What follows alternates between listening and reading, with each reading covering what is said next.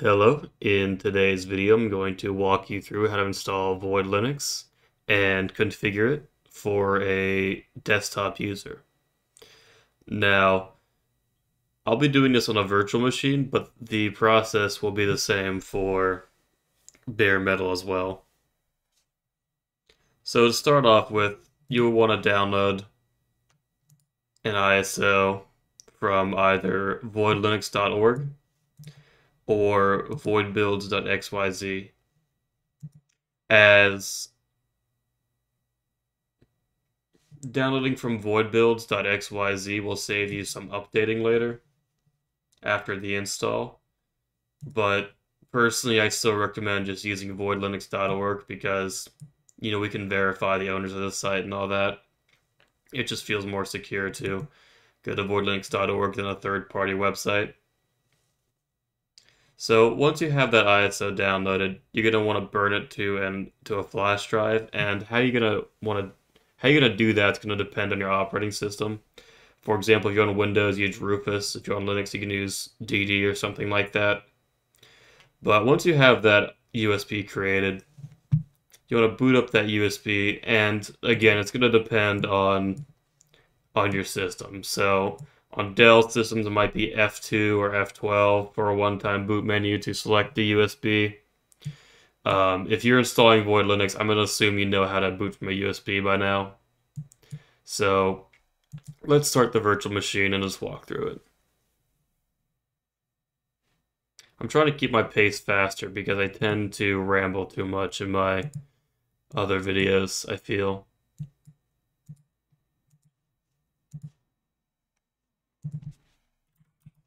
There we are.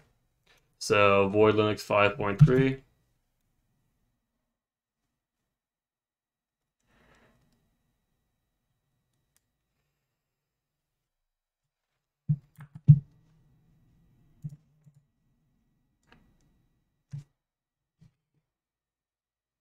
And you'll be given a prompt here, and if you read the instructions, they will tell you the login is root void Linux.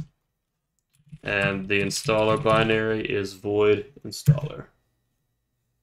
Now, if you ever installed a BSD or Windows XP or something like that, this will look very familiar. It's a very familiar CLL or CLI style interface.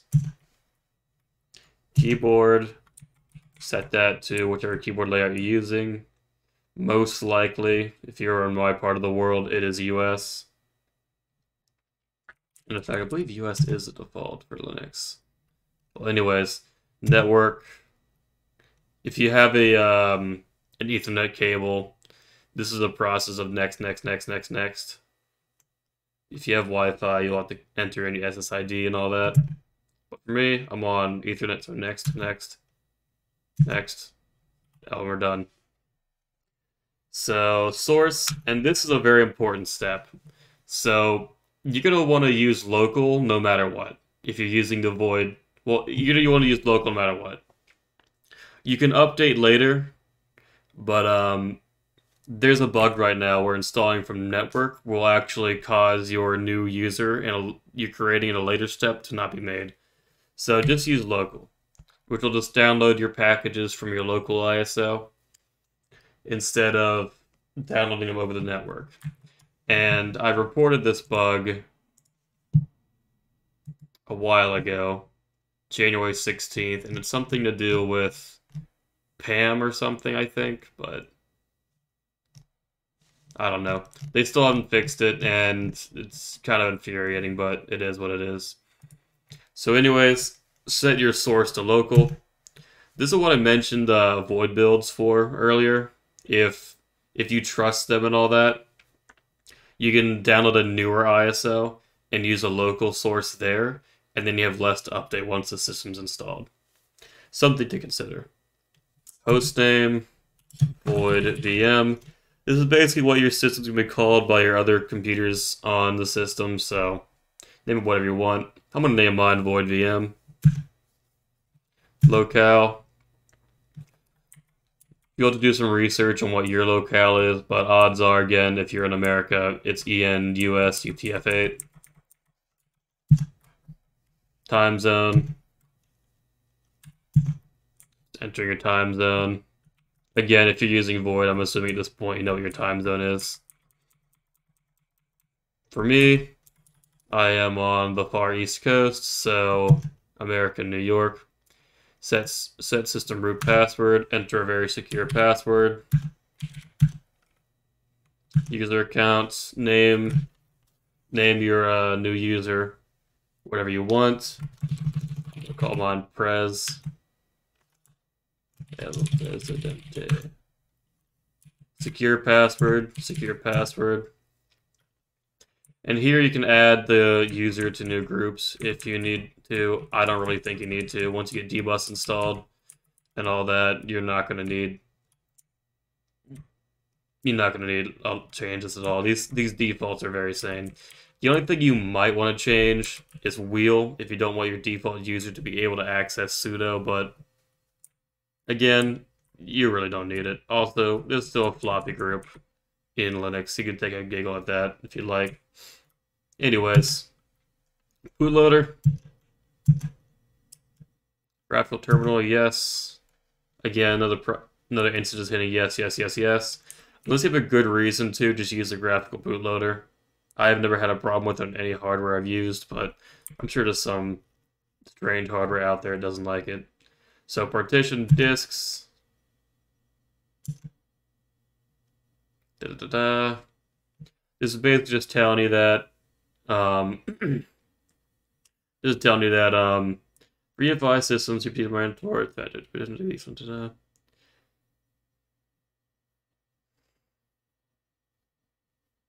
Right, so basically what's saying here is viewing UEFI partitioning, you have to have a um, you have to use GPT layout and you need a FAT32 partition in with uh, boot toggle as the very first partition as EFI system partition type. I believe this VM uses BIOS though, so I will not have to do that. But um, if you're going to be using UEFI, there are instructions on the Void Linux documentation for more detail on specifically how to do UEFI installs. If I'm not misremembering. So we're going to do DOS, new, big old fatty drive. Yep, looks good. We're out of here that that little program is a cfdisk. You can you can handle it. It's pretty easy to use. File systems. Now, one thing about Void that sets it apart is that it has a lot of options for file systems, and quite frankly, I don't think there's any reason to use much of anything on a desktop system besides ext4, so we're going to use ext4 mount point with a root because I prefer to have everything in one partition. I generally do not dual boot. Create new file system, yes.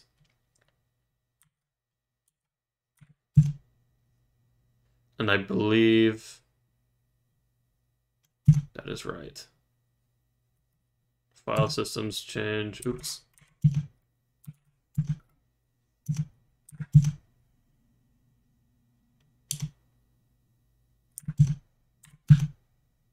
All right, sorry. You have to go down to the next, um, the next step after you set your file systems for some reason. So then once that's done, it's going to copy and paste all the packages on this CD to um, your new install directory.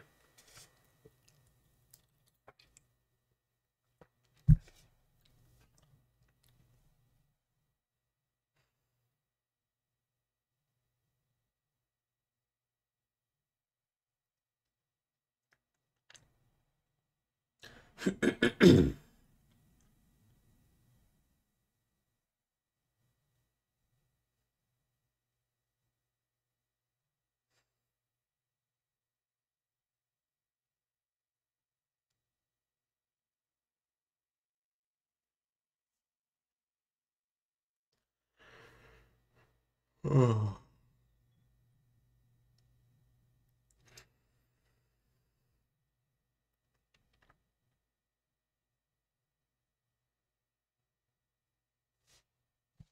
Now that we're done, we're going to reboot the system. So yes.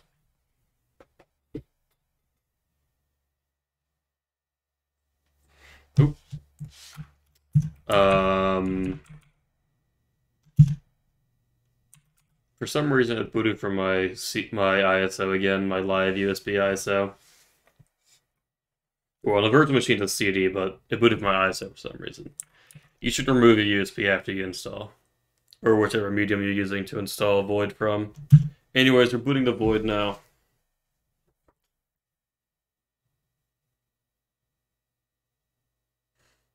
I will say this, the kernel is 5.3.9, I believe. So um, it's fairly recent, but if your hardware is not working, you might have to use a void builds.xyz ISO to get more up-to-date firmware for your device.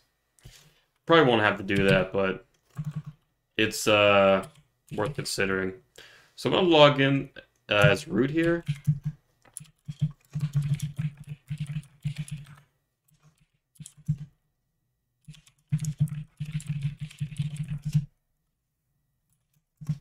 I'm gonna run a bash.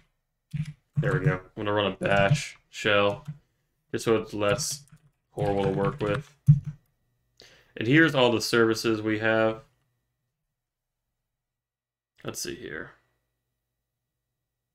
I believe dbus is supposed to be installed by default. Oh, I'm thinking of UDEV. We need to turn on UDEV too. Um, but anyways, first order of business you want to run xbps dash install space dash suy for which will basically update your repos, update or sync your repositories, update your packages, and say yes to all the prompts. This is this is different than SYU in Arch Linux or Pacman, where SYU means to update and upgrade all packages. What this what this one means is the same thing, but the flags be something different. So S means sync, U means upgrade, Y means say yes. So it looks similar to Arch, is why I prefer to write SUY instead of SYU, because used to have a habit of doing that. So we're going to update our packages here, and you can see it's going to update um, XBPS itself. We're not done updating yet. We got to run it again, because now that the package manager itself is updated, we can update all the other stuff. This is what I was talking about saving some time earlier by using a void builds, uh, local void builds install. Or rather, using a void builds ISO and then using a local source install. We'll save you a bit of updating later, but personally, I I prefer to use void linux.org's uh, .org's ISOs because void builds is third party and a bit of a paranoid person. He says running Windows.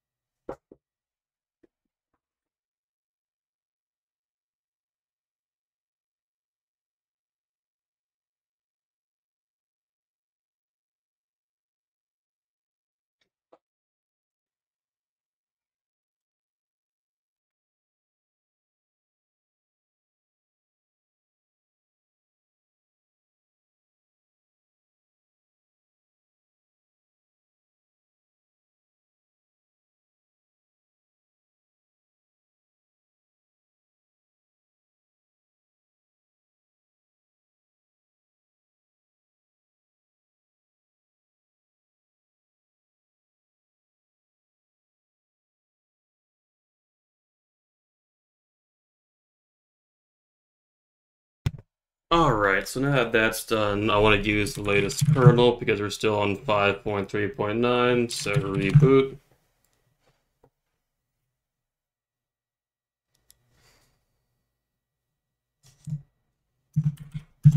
I have the CD still inside.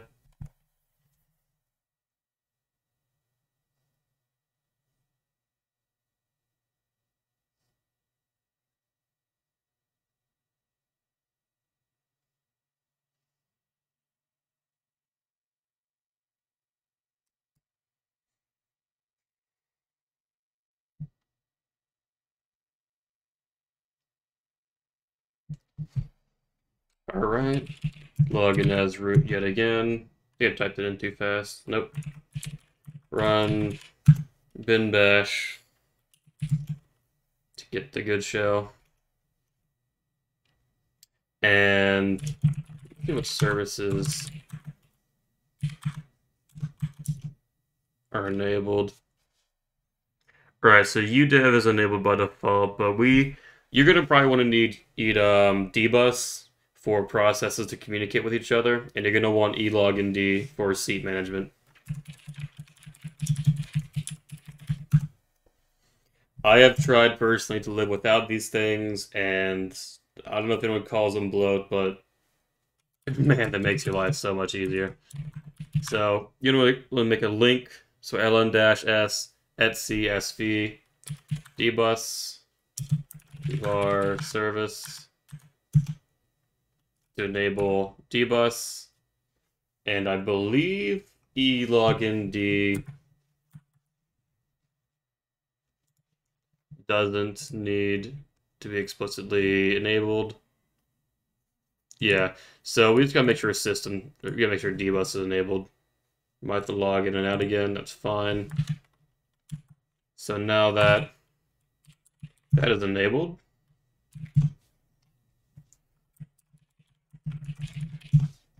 you are pretty much done with your Void Linux install. You have elogind, you have dbus, and you have an updated system. Um, if you want to use a ISO with a desktop environment, so, such as XFCE or something like that, this process is the same. However, you probably don't need to install elogind and all that. Um, they, I think the XFCE one might use a different seat manager, but anyways, that's how you install that's how you install Void Linux uh, for a desktop environment, for an end user, rather. And uh, if you have any questions, leave them in the comments. I'll get back to you. Oh, one last thing. If you have a laptop, you're going to want to install TLP. This is a VM, so I'm not going to do that. But once you install TLP, you want to enable it. etc sv TLP, var service, just like that. I don't have TLP installed, so enabling that would be kind of dumb. And what that'll do is that'll manage manage your power settings for your laptop for you. It'll make things it'll make your laptop battery last a lot longer. I I think I've used God, I've used TLP for years now. I use it on every single laptop I have that runs on X. It is tremendous. But yeah, if you have any questions how to install Void Linux, let me know in the comments and I'll try to get back to you.